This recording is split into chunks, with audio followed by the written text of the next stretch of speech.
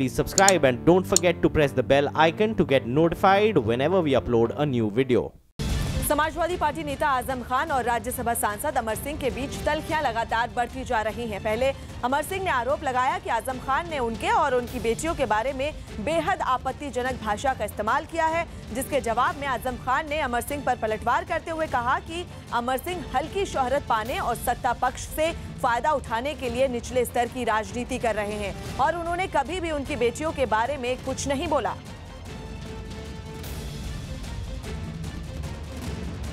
कलयुग का असुर हमारे गृह राज्य उत्तर प्रदेश में आज़म खान के रूप में गिरी। और कल उसने एक बयान दिया कि अच्छा होगा कि नगर के अमर सिंह को रास्ते में पिटा जाए और उनकी पत्नी की चीज़ की हत्या किया जाए। और उनकी जवान हो रही बेटियों को ऊपर तेजाब डाले ये शब्द न मेरे हैं, न हो सकते हैं। कि सिर्फ़ हल्की शोहरत पाने के लिए, मुझसे वाद विवाद करने के लिए, सत्ता दल से उसका फ़ायदा उठाने के लिए, कम से कम इस ओछे स्तर पर न उतरा जाए। बिहार के बेतिया में पिछले चार पाँच दिनों से हो रही लगातार बारिश की वजह से पूरा शहर टापू में तब्दील हो गया। बारिश की वजह से लोगों को कहीं भी आने जाने में काफ़ी दिक्कतों का सामना करना पड़ रहा है। आलम यह है कि शहर का आधा हिस्सा पानी में डूबा दिखाई दे रहा है। बेतिया के कई इलाकों में बच्चे दो हफ़्ते से स्कूल नहीं जा पा रहे हैं क्योंकि इन बच्चों के घर के चारों तरफ़ पानी जमा है। आने जाने के लिए लोगों ने चंदा इकट्ठा कर लकड़ी का पुल बनवाया है।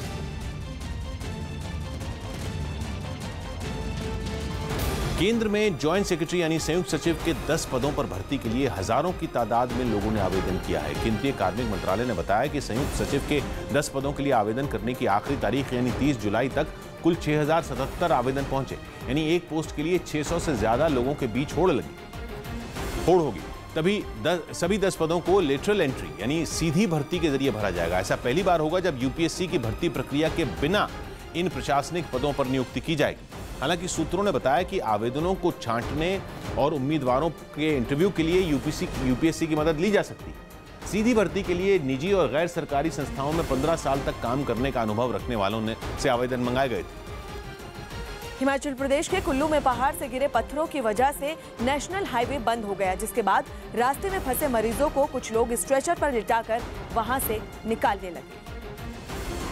जो कई घंटों से वहाँ फंसे हुए थे। इस दौरान रास्ते पर गाड़ियों की लंबी कतारें नज़र आईं, जबकि फंसे हुए कुछ लोग अपना सामान लेकर पैदल जाते भी दिखे। पहाड़ से इतने बड़े पत्थर गिरे कि उन्हें हटाने के लिए कई मशीनों को लगाना पड़ा। कुछ लोग पैदल ही पत्थरों के ऊपर से निकलने लगे। हम यही गुहार लगा रहे हैं एडमिनिस्ट्रेशन और सरकार ऐसी की जल्दी ऐसी जल्दी इस प्रॉब्लम और जो यहाँ पर एन एच ट्वेंटी वन का कार्य चल रहा है उसको जल्द जल्द निकाले। रास्ते में फंसे हुए लोगों ने प्रशासन पर लापरवाही का आरोप लगाया। साढ़े दस बजे। अब सुबह आठ बजे जाके लोग जाग रहे हैं। अब मशीनों का काम शुरू कर रास्ता बंद होने की वजह से वहाँ सबसे ज़्यादा परेशानी बच्चों, महिलाओं और बुज़ुर्गों को ही, जो घंटों तक वहाँ फंसे रहे। लखनऊ में पुलिस वाला बीच सड़क पर एक ऑटो चलाने वाले को पीटने लगा। बताया गया कि ऑटो की टक्कर से रिक्शे पर बैठी एक महिला को चोट लग गई। जिसके बाद मौके पर पहुँचे पुलिस वालों में एक पुलिस वाला ऑटो वाले के बाल पकड़कर खींचने लगा।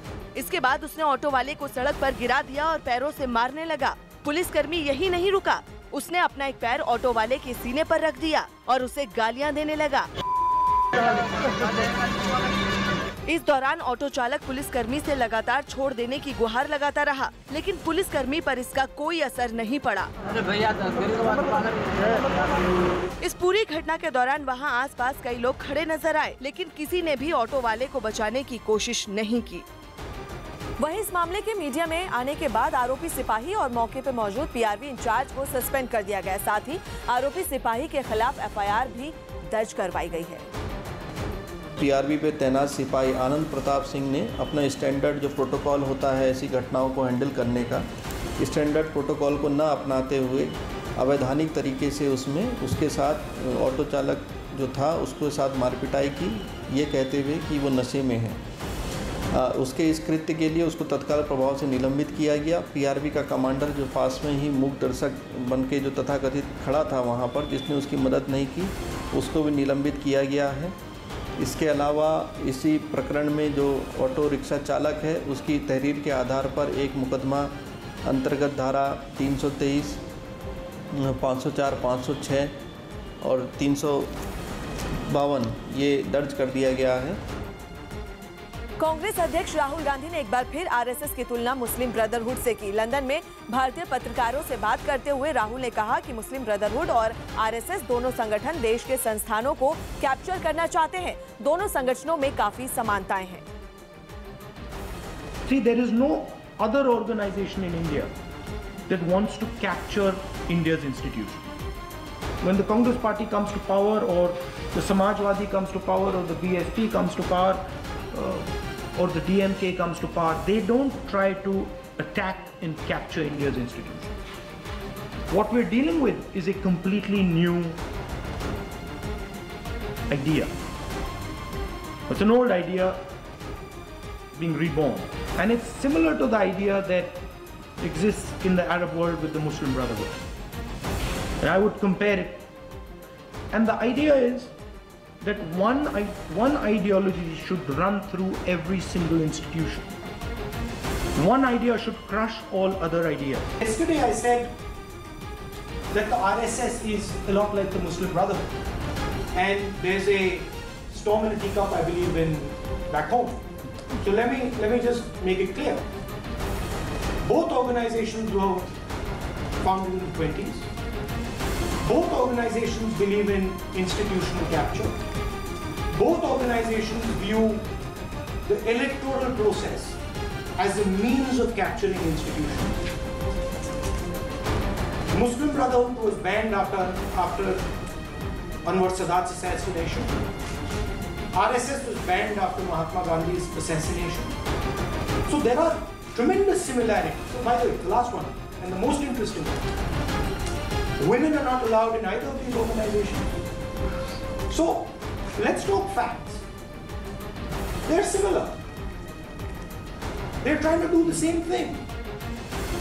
Rahul Gandhi हताशा के गर्त में गिरे हुए हैं उनको मुस्लिम ब्रदरहुड और राष्ट्रीय स्वयंसेवक संघ का अंतर नहीं समझ में आ रहा है मुस्लिम ब्रदरहुड ने जो है एमन अल जवाहरी दिया है मुस्लिम ब्रदरहुड ने तमाम जितने भी आतंकवादी इस्लामिक संगठन हैं उन सारे संगठनों का मातृ संगठन है दूसरी तरफ़ एक संगठन ऐसा है जो हमेशा लोकतंत्रवादी संसदीय लोकतंत्र को पुष्ट करने वाले आदरणीय अटल बिहारी वाजपेयी जैसा, आदरणीय नरेंद्र मोदी जी जैसा, भारत के राष्ट्रपति रामनाथ कोविंद जी जैसा व्यक्तित्व दिया है।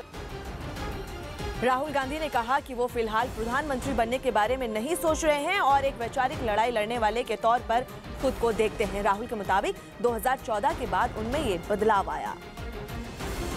I don't, I don't have uh, these visions. I don't, I don't see myself. My job right now, I, I view myself as fighting an ideological battle. And this is really the, the change that has come in me between after 2014. I realized after 2014 that there is a risk to the Indian state, to the Indian way of doing things and I'm defending that. I don't see myself this way or that way. I just get up in the morning and I say, okay, how do I defend the Indian institutional structure? How do I make sure that the country I love works together?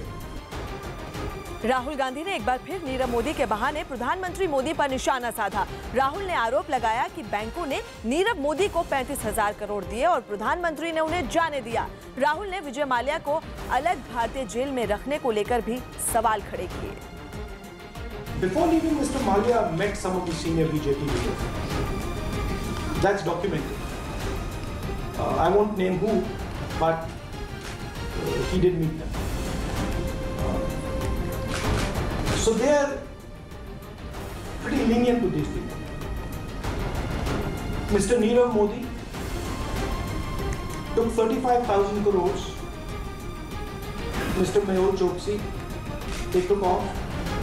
And strangely, when the government of the country where they were sent a things, uh, sent a notice to the to the Indian government, the Indian government didn't really respond to the notice.